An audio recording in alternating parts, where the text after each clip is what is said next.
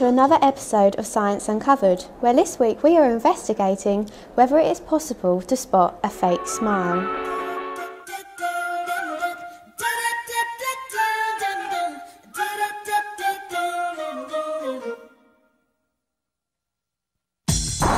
This one I think is fake and this one I think is real. So I think this is the real one and this is the fake one. Okay, I think this one is fake and I think this one is real. I think this one is the real one and this one is the fake one. So when a smile is fake, the brain tells the zygomaticus major muscles in the cheeks to contract, which pulls the corners of the mouth outwards. But in a genuine smile, signals of happiness are processed unconsciously in parts of the brain that deal with emotion. This not only causes the muscles in the cheek to contract, but also the orbicularis oculi and the pars orbitalis muscles to contract, which causes a creasing around the eyes, the eyebrows to dip slightly, and the cheeks are more raised. But why are we so bad at spotting fake smiles when the clues are actually there?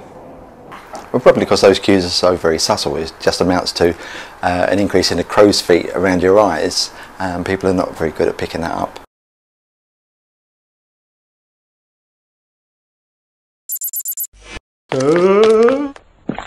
Brains. Hello, and welcome to Science Uncovered. This week we'll be exploring the greatest plague of the 21st century. Yep, we are talking zombies. Firstly, what is the definition of a zombie? Well, the traditional idea of a zombie is a corpse brought back to life through the powers of voodoo snake rituals, spiritual influences, or, in the 21st century, a virus. My name is Dr. Austin. I am a theoretical zombiologist at the University of Glasgow and head of the Zombie Institute for Theoretical Studies. So, what is a zombie? Uh, well, for us, there are two different types of zombies. The fictional one, the one that you see in films and horror movies, uh, sort of crawling out of the ground, rising from the dead, eating people's brains. So, that's the fictional idea, and I'm interested in the real science of zombies. So, which of these attributes that they have in film and TV would we would actually happen if they existed in real life. So that's what my research is all about.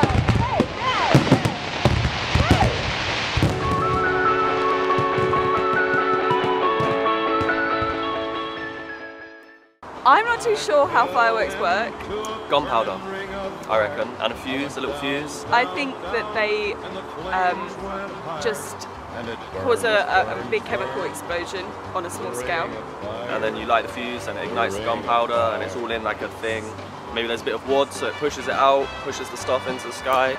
Fireworks work through combustion. So you have the tube and you've got the gunpowder inside. I think it's gunpowder. Fireworks are composed of an outer shell, an explosive, which is gunpowder, and a fuse. The fuse is lit, which ignites a small compartment of gunpowder in the bottom of the firework and propels it into the sky. So I'm here in the chemistry lab today, and I've got some chemicals here that are sometimes used in fireworks. So let's take a look and see how they burn. So first of all, I'm going to turn the Bunsen burner to the hot flame. And I'm going to take some lithium, just put it in the flame, and it should turn red. There you go.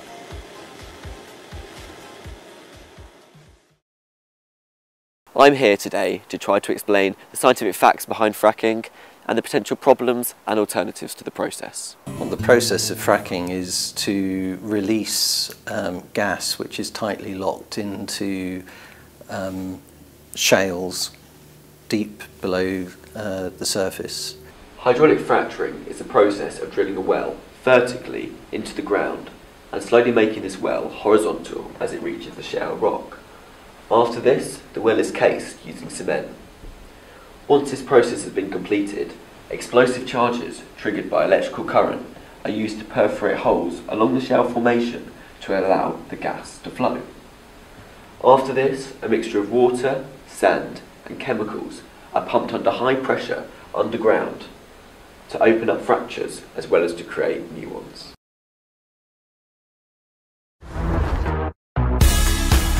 Chorophobia is actually the fear of dancing, where choro comes from choreography.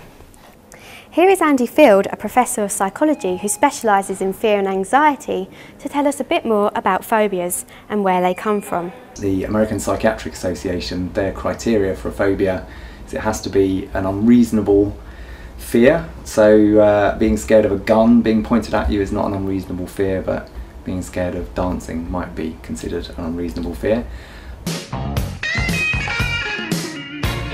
Why people? Because uh, I guess it's because all the attention is on you. I think that's quite scary for a lot of people who maybe have self-confidence issues. Um, I would say that's probably one reason why people are scared of dancing. They might get an injury, they could fall over. Because they're shy. Because they don't want to fall over and look really stupid. Blood is made up of red blood cells, white blood cells, platelets, and plasma. Your blood type is identified by two things. Firstly, by antigens, which are present on the surface of the red blood cells, and secondly, by the antibodies that are found in the plasma. If you're blood group A, then you will have the A antigens on your red blood cells.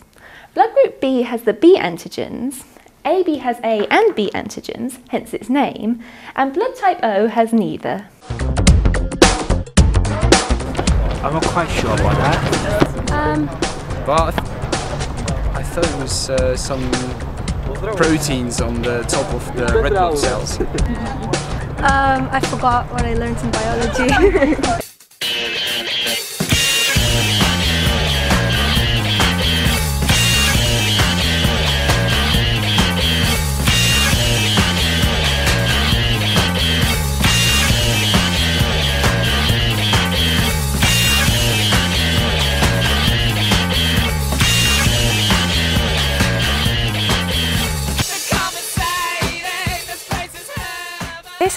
first ever Science Uncovered live show.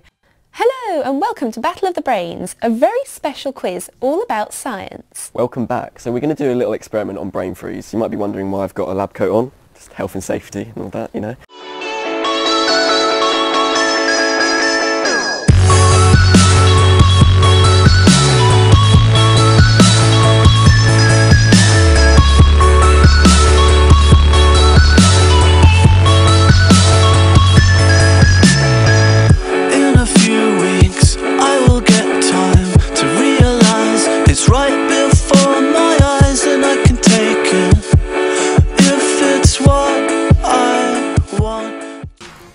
Hand syndrome is a neurological disorder that affects movement. It's defined as having a limb that performs meaningful acts on its own.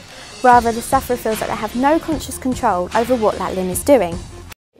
We give gifts to others not to increase our reproductive success, but because we have evolutionarily selected for a nature that initiates altruistic acts in the hope that they will be reciprocated.